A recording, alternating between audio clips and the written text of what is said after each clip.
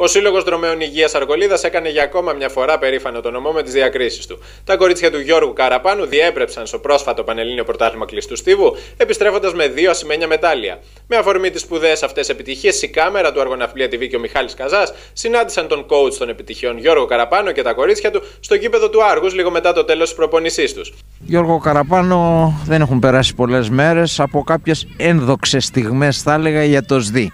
Πρώτα απ' όλα και επειδή ο πολλής ο κόσμος δεν ξέρει ούτε καν τι είναι ο ΣΔΙ. Ο ΣΔΙ Αργολίδας είναι μια ομάδα την οποία τη δημιούργησα εγώ πριν από 9-10 χρόνια περίπου. Ξεκίνησα με 5-6 παιδάκια και έχουμε φτάσει αυτή τη στιγμή να είναι στη δύναμή μας περίπου 80 παιδιά από νήπιο μέχρι 28-29 χρονών. Έχουμε αγωνιστικό τμήμα όπου συμμετέχει στα Πανελλήνια Πρωταθλήματα, έχουμε προαγωνιστικό και έχουμε και παιδάκια στις ακαδημίες. Πόσα αγωνίσματα μας ενδιαφέρουν; Εγώ ως επιτοπλίστων ασχολούμαι με τα sprint, με τις ταχύτητες και τις μεσαίες αποστάσεις. Από εκεί και πέρα ε, έχω και αθλήτρια που συμμετέχει στο έπταθλο και έχω και αθλητή που θα συμμετέχει στο έξαθλο. Δύο κουβέντες για σένα. Εγώ έχω τελειώσει τη γυμναστική ακαδημία ε, με ειδικότητα το κλασικό αθλητισμό. Ε, ασχολούμαι και με το handball, με τη διαιτησία. Γενικά ε, είμαι ένας εραστής του αθλητισμού. Μου αρέσει ο αθλητισμός σε όλα τα επίπεδα. Ο ΣΔΙ είναι αργολίδας. Δεν είναι σωματείο του Άργους. Ε, το όνομα λέγεται Αργολίδα, αλλά έχει έδρα το Άργος, είναι ομάδα του Άργους. Τα παιδιά είναι όλα από το Άργος; Τα παιδιά είναι όλα από το Άργος και από τα γύρω χωριά καταφέραμε τα τελευταία χρόνια να έχουμε κάποιες επιτυχίες. Επιτυχίες όχι για την Αργολίδα ή το Άργος, πανελλήνιες επιτυχίες πλέον και Πανε, διακρίσεις. Πανελλήνιες επιτυχίες, αυτός είναι ο στόχος μας. Τα παιδιά που ξεκίνησαν από πολύ μικρά να έχουμε φτάσει αυτή τη στιγμή να αγωνιζόμαστε σε πανελλήνιο επίπεδο, να αγωνιζόμαστε ενάντια σε μεγάλους αθλητές και μεγάλες αθλήτριες που συμμετέχουν με την εθνική ομάδα σε ευρωπαϊκά πρωταθλήματα, παγκόσμια πρωταθλήματα κτλ.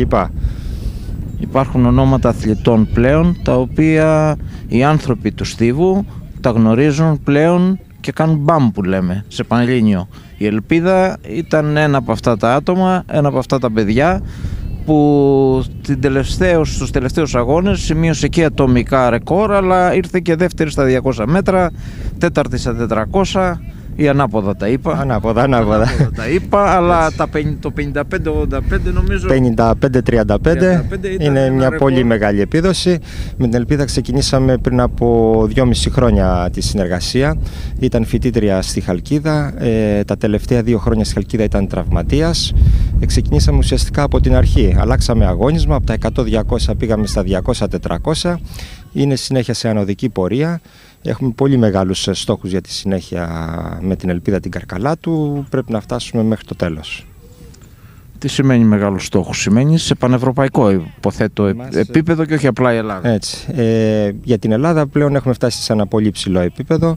Μας ενδιαφέρει πλέον ε, η διάκριση μέσω της εθνικής ομάδας. Ο μεγάλος μας στόχος είναι να μπορέσει να μπει στη σκηταλοδρομία την 4x400 της Εθνικής Ελλάδος, η οποία θα συμμετέχει στο Ευρωπαϊκό Πρωτάθλημα και θα κυνηγήσει και το Πανελληνίο Ρεκόρ. Δεν είναι εύκολο, αλλά θα προσπαθήσουμε με όλες μας τις δυνάμεις. Πότε θα ξέρουμε αν μπορεί να μπει σε αυτή την ομάδα, πότε θα γίνει η επιλογή; Η επιλογή θα γίνει κάπου το καλοκαίρι, Ιούνιο-Ιούλιο, μετά από όλους τους αγώνες στα Grand Prix που θα γίνουν, το Πανελλήνιο Πρωτάθλημα. Ε, είναι ε, 6-7 αθλήτριες για 4 θέσεις. Δεν είναι εύκολο, απλά εμείς ε, είναι ο μεγάλος μας στόχος και θα προσπαθήσουμε πάρα πολύ γι' αυτό. Γιώργο, το sprint είναι και ο αθλητισμός γενικά ο κλασικός είναι ατομικά αθλήματα σε μεγάλο βαθμό. Ναι. Τι σημαίνει να βελτιωθεί ακόμα, να κατεβάσει κι άλλο το χρόνο; Τι χρειάζεται; Χρειάζεται μόνο η θέληση του αθλητή, οι οδηγίες του προπονητή, χρειάζονται κάποια μέσα και αν αυτά τα μέσα υπάρχουν σε μια επαρχιακή πόλη όπως είναι το Άργος. Ε, και να μην υπάρχουν τα μέσα προσπαθούμε να προσαρμόσουμε την προπόνηση στα μέσα που έχουμε. Ε, για να φτάσει ένας αθλητής κυρίως στα sprint σε υψηλό επίπεδο εκτός από τη θέληση θέλει και ταλέντο, θέλει πολλή δουλειά, θέλει να είσαι και τυχερός γιατί η πολλή δουλειά μπορεί να φέρει και τραυματισμούς ε, θέλει μασάζ, θέλει φυσικοθεραπείες, ε, θέλει σωστή διατροφή, θέλει σωστή ζωή. Είναι πάρα πολλά πράγματα και εγώ έχω το ευτύχημα και έχω ε, αρκετούς ανθρώπους ε, δίπλα μου οι οποίοι βοηθάνε σε αυτή την κατεύθυνση. Πριν πάμε να δούμε μερικά κορίτσια, γιατί μπορεί σήμερα να είναι Παρασκευή πριν τις απόκριες και ο κόσμος να κοιτάει τι στολή θα φορέσει, αλλά οι αθλητές βλέπω είναι στο γήπεδο πάνω στο καθήκον. Πριν δούμε λοιπόν αυτά τα παιδιά, θα ήθελα να σου κάνω μια ακόμη ερώτηση. Μιλάς για 75 αθλητές περίπου εδώ στο Άργος. Αθλητές που τρέχουν, φοράνε ρούχα, φοράνε παπούτσια, έχουν έξοδα. Ποιος καλύπτει τα έξοδα τους δει; Είναι ένα ερώτημα που σίγουρα πολλοί θα προβληματίζονται και ίσως να αναρωτιόνται και κάτι ακόμα που αναρωτιέμαι και εγώ μία θέση πανελλήνιο επίπεδο ή κάτι άλλο σημαίνει και έσοδα για σας ή όχι; Και ποιος καλύπτει αυτά τα έσοδα; Ε, τώρα συμμετέχεις σε πανελλήνιο πρωτάθλημα το μόνο που μπορείς να καταφέρεις είναι να δημιουργήσεις έξοδα. Έσοδα όχι τα έσοδα τα δικά μας για να καλύψουμε όλες αυτές τις αποστολές, για να πάμε στα πανελλήνια πρωταθλήματα, να μετακινηθούμε, ε, να διανυχτερεύσουμε, να φάνε τα παιδιά ε, κτλ. Όλα αυτά καλύπτονται από χορηγούς, από μεγάλους χορηγούς, από υποστηρικτές της ομάδας, οι οποίοι είναι μικρομεσαίες επιχειρήσεις που δραστηριοποιούνται στο Άργος.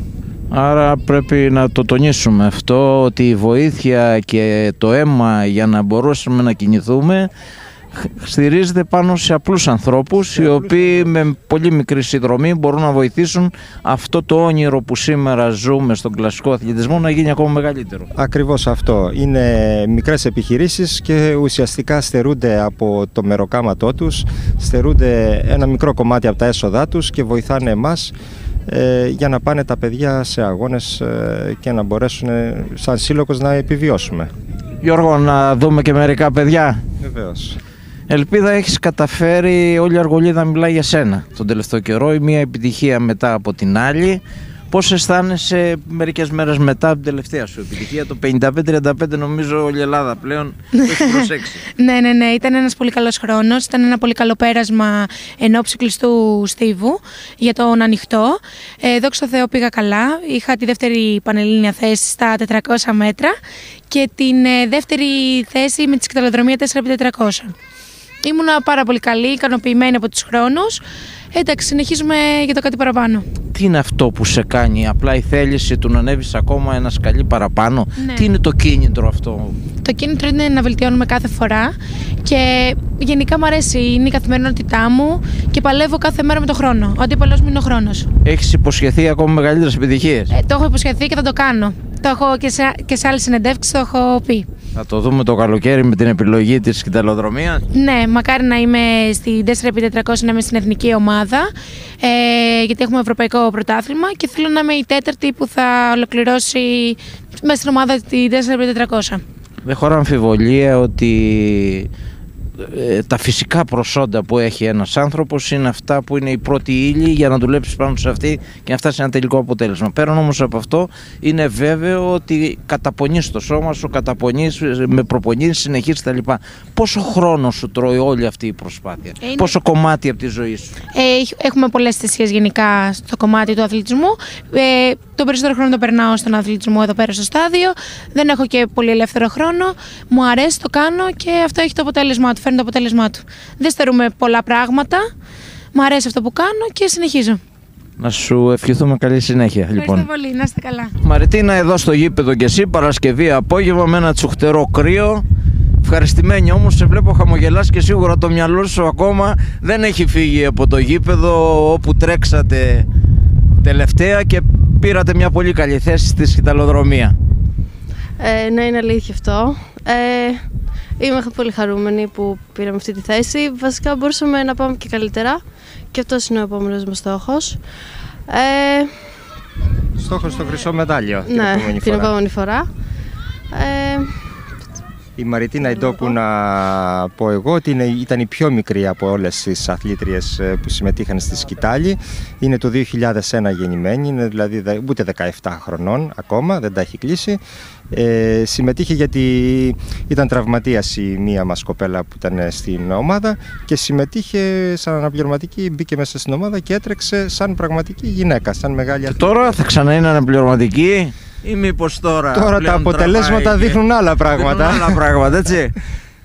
Σε ποια σειρά έτρεξες από τις τέσσερις αθλήτριες; ε, στη δεύτερη έτρεξα. Ήσουν η δεύτερη, Ήμουν η δηλαδή δεύτερη, ναι. Είχες, πόσο ταχυπαλμία είχες τη στιγμή που κάθεσαι και περιμένεις να πάρεις σκητάλια από την πρώτη και ξέρεις ότι ακόμα δεν έχει λήξει τίποτα ή θα είναι άλλες δύο; Όχι, ναι. Τι σημαίνει εκείνη τη στιγμή για σένα. Ε, Ε, εκ- έχω άγχος γιατί προσπαθούσα να θυμηθώ ότι έπρεπε να κάνω σωστά. Ε, αλλά εκείνη τη στιγμή που έτυχα δεν σκεφτόμουν τίποτα απολύτως. Το, Και μετά μόλις τελείωσα προσπαθούσα να ενθαρρύνω τις επόμενες δύο. το αγώνισμά σου είναι τα 400, 400 Ναι, 400. μέτρα. Μάλιστα. Ο επόμενος στόχος είναι η Ο επιλογή επόμενος πλέον. στόχος ε, για την Μαριτίνα ε, είναι το Πανελλήνιο Πρωτάθλημα Παιδών Κορασίδων γιατί είναι μικρή ακόμα και μεγάλος μας στόχος είναι του χρόνου στη σκητάλη που θα έχει δικαίωμα να λάβει μέρος στον ανοιχτό στίβο στο αντρών γυναικών είναι να μπει στη μεγάλη ομάδα όπου εκεί πάλι θε- θέλουμε να διεκδικήσουμε το μετάλλιο. Γιώργο, πολλοί αθλητές εδώ. Μαρτίνας, σου ευχόμαστε καλή συνέχεια να έχεις και κα- μεγαλύτερη ακόμα εξέλιξη αφού τόσο πολύ το θέλεις. Γιώργο, κορίτσια πολλά. Πολλά κορίτσια. Λιψανδρία υπάρχει στο Άργος. Ε, τα, τα αγόρια προτιμάνε το handball, προτιμάνε το ποδόσφαιρο. Ο στίβος είναι και μοναχικός, δεν είναι εύκολο πράγμα να το κάνεις. Λοιπόν, να δούμε ακόμα μία αθλήτριά σου. Γιώργο, στον αθλητισμό όλη η οικογένεια, έτσι, και οι νεότερες γενιές. Έτσι. Αθλήτρια της σφαιροβολίας Επτάθλου Λοιπόν, κανονικά, του είναι, αθ- επτάθλου. είναι αθλήτρια του επτάθλου και στο κλειστό στίβο συμμετείχαμε στη σφαιροβολία.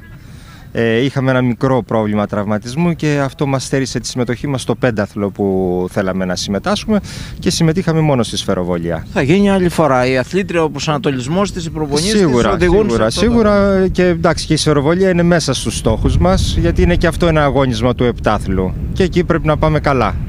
Μάλιστα. Ποια είναι η ηλικία; 18 χρονών. 18 χρονών. Και έχεις συμμετάσχει χρόνια τώρα σε αγώνες, έτσι. Δεν Ναι. είναι αρχή. Έχεις μια κάποια εμπειρία αρκετά Ναι, πλούσια. από μίνι. Πολύ μικρή. Από Από μήνυ. τα 8 μου. Τι σκέπτεσαι τώρα, όταν σκέπτεσαι αγώνες, κλασικό αθλητισμός, σφαίρας στα χέρια, στα χέρια σου έτοιμη να ρίξεις, τι σκέπτεσαι, ποια είναι η φιλοδοξία σου, τι θα θέλεις να κάνεις, Πού να φτάσεις; Ε,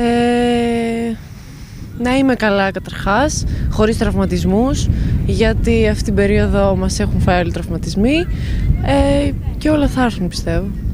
Η προπόνηση και οι διακρίσεις θα έρθουν. με τη- Ποια ήταν η μεγαλύτερη διάκρισή σου μέχρι σήμερα, Ε, ήταν ε, στην κατηγορία των παγκορασίδων, είχα βγει τέταρτη στο πένταθλο, ε, είχα ένα τραυματισμό και με είχε στερήσει από το ασημένιο μετάλλιο για πολύ λίγο. Ο αθλητισμός πηγαίνει δίπλα στα μαθήματα; Ναι. Πού- Τι ακριβώς κάνεις αυτόν τον καιρό; Ε, σκέφτομαι... Έχεις τελειώσει το Λύκειο; Όχι. Δεν έχω τελειώσει.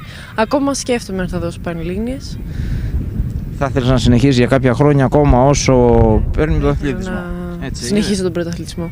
Ωραία. Άρα προπονούμαστε έτσι. Η Φιωρίνα τι είναι από κοντά μου έτσι, από τότε που φτιάξαμε το, έφτιαξα τη- την ομάδα, είναι από 9 χρονών ε, ε, στην ομάδα, προπονείται από πολύ μικρή.